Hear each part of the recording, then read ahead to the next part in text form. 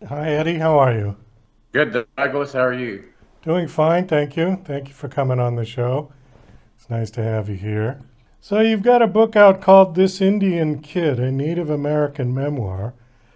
And it looks like you've had a career, very successful career as a writer.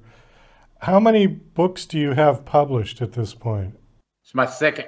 This is your second one published? Yes. Were you doing journalistic writing before? Uh, every once in a while, I'll do something like maybe a book review, but as far as day to day, no, uh, no journalistic writing. Even though I'm a copy editor. Okay, a copy editor. That's what you do as a career. Right. Okay. Well, it looks like you've won some awards. Was were the awards for your previous book? Let's see. The uh, well, the O. Henry Award. Yeah, it was for uh, a story that appeared in the book. Uh, as far as uh, like the Stanford Fellowship, that was based on a writing portfolio that you submitted. Uh, I've won some journalism awards too. So this is a memoir of your life. It says that uh, you grew up in the 70s uh, with divorced parents. You attended 13 different schools. So you moved like every year, basically? Yeah, sometimes two or three times a year. Why was that?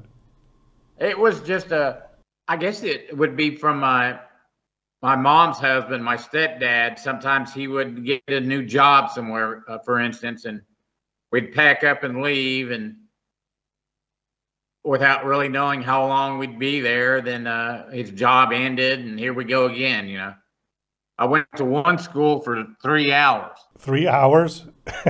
yeah, we moved all the way to Texas, and uh, mom took me to school to get me enrolled so it wasn't until after lunch that I actually got enrolled and was in a class.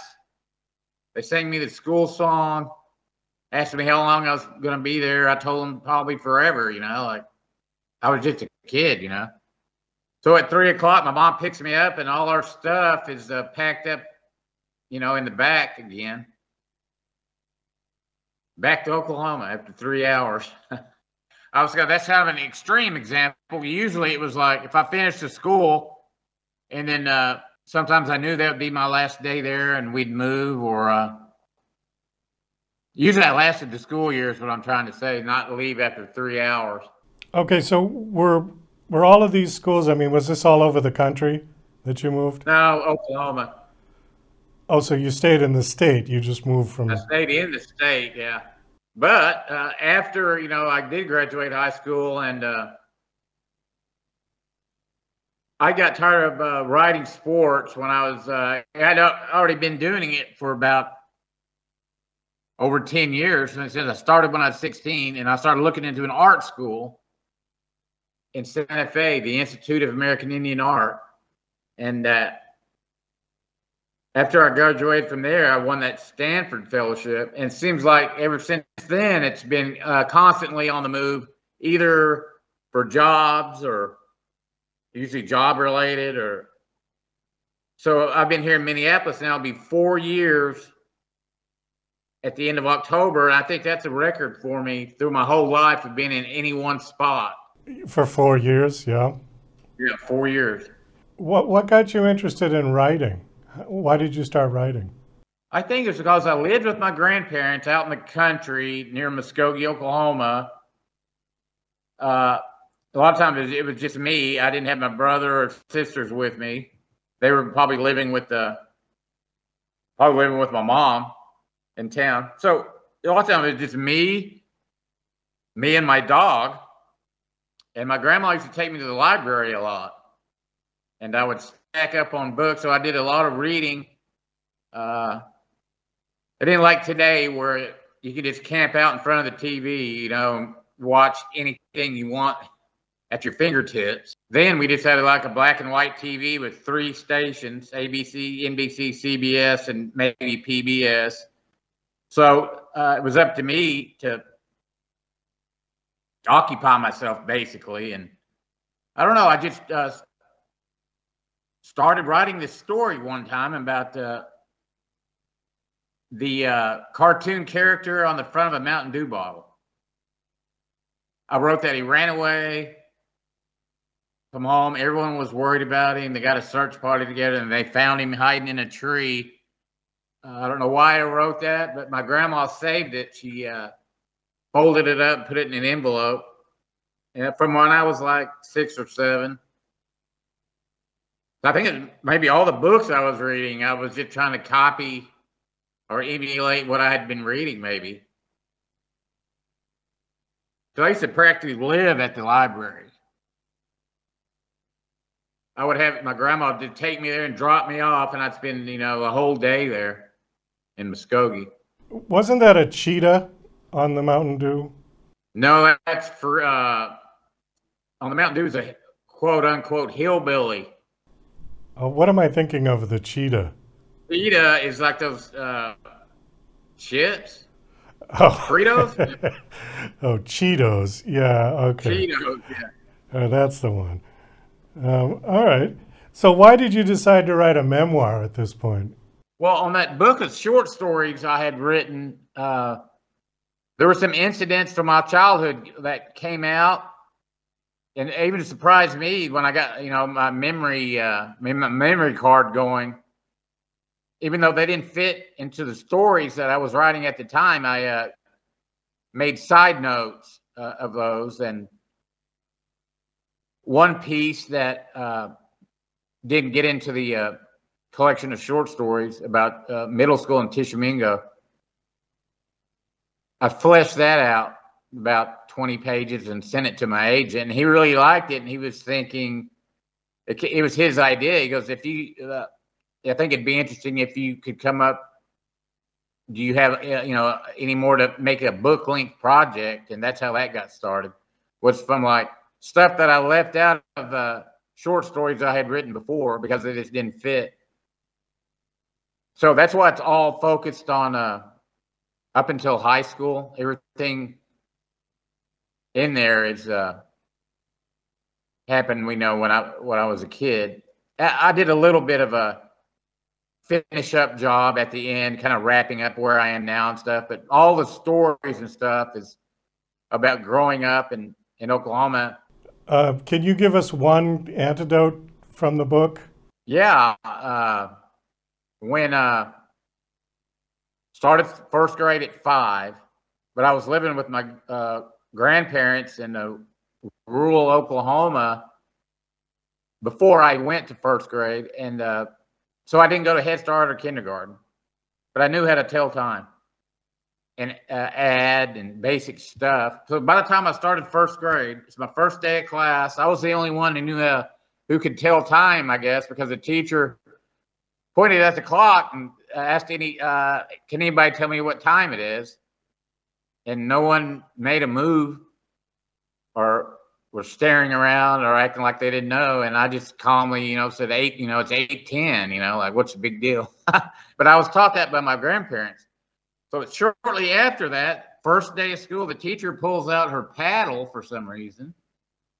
I guess just to show the kids that I've got a paddle, but I, I was terrified of it. So on that first day, as we lined up to go to the lunchroom, I peeled off and walked home, which surprised my mom because she thought, "What are you? What are you doing here? I thought you were supposed to be in school. Don't you eat at at school? I thought you were eating at school." And uh, I didn't know what to tell her. Anyway, she drove me back to school, waved by as I'm walking in. Unfortunately, there was another kid there who just happened to be at the door and opened the door for me and said, uh, Miss Parker's going to get you with that paddle for uh, leaving school. Well, that was the wrong thing to say because I went in the front doors. My mom saw me, but there was a set of double doors in the back. And after the kid said that, I just went in the front door and went out the back and ran away from school on my first day they had to get a search party together. They let out the senior class, the 12th graders, and uh, one kid hunted me down with his uh, rabbit dogs. So I guess I was gone for uh, two or three hours, but that was my uh, infamous first day of school. Why was she going to paddle you for knowing how to tell time?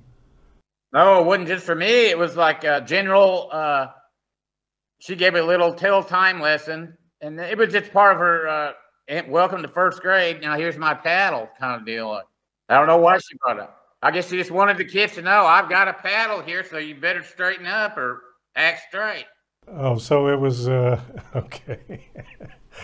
she, yeah, she it just wasn't wanted... nothing that I did. It was just welcome to class. My name's Miss Parker. Here's my paddle, which didn't sit well with me. She wanted to let everybody know who was boss. I guess so. I mean, I think Oklahoma still allows corporal punishment. From what I, I did a little research on that.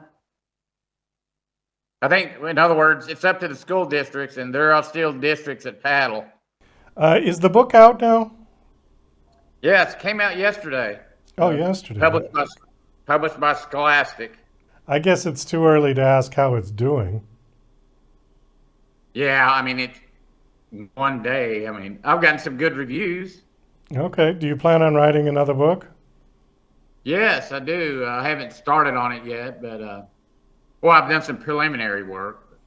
What's this one going to be about? It's going to be about uh, this uh, Native American art family that I knew in uh, Muskogee. Uh, the the father uh, died of a accidental gun, gunshot wound at age 26 and he was on his way to becoming this uh, superstar in the Native American art world. And he left behind a legacy that they turned into the Jerome Tiger Art Company. And his brother also became a well-known artist. And it was just such a a uh, kind of otherworldly uh, family to encounter back then. You know, they had a two-story house with uh, many bathrooms, a swimming pool, a tennis court Mercedes Benz, Lincolns, Cadillacs. I mean, it was like walking into fantasy world. But uh, I thought I might do something with that because I've been involved with Native American art. It seemed like my whole life. My uncles uh, were artists, painters, sculptor, and then my friends there in Oklahoma. Then I wound up going to an art school, Native American art school. So I think it's going to deal with Native American art. Oh, okay. Is that painting behind you? Did you do that? No, that was. Uh, actually a friend of mine who graduated the uh, art school with me, Jack Sabon, S A B O N. It's a uh, a gray wolf. Yeah, it's very nice. Yeah. yeah, the thing about that is, no matter where you are in the room, it's staring right at you. the eyes follow you. Yeah.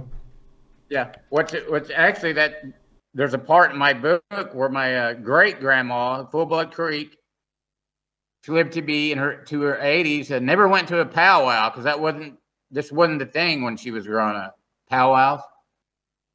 So she's lived her whole life and never went to a single powwow. But uh, she also had a theory about uh, well, when she was getting older, she'd be in her room and sitting on a chair and watching TV you know how the newscasters are looking right at you. She figured, well, now if I move to my bed, they won't be looking at me because how can they look at me when I'm in my chair and in my bed at the same time? Yeah, it's kind of an optical illusion. Uh, Eddie, we got to wind this down. We are out of time. Thanks so much for coming on. Uh, the book is called This Indian Kid, a Native American Memoir. And you said the book is out. Do you have a website you want to give out? No website, but they can order it at their local bookshop or online. Okay. All right, great. Well, thanks again for coming on. It was nice meeting you. Best of luck with the book. Hope it does well. Thanks a lot, Douglas.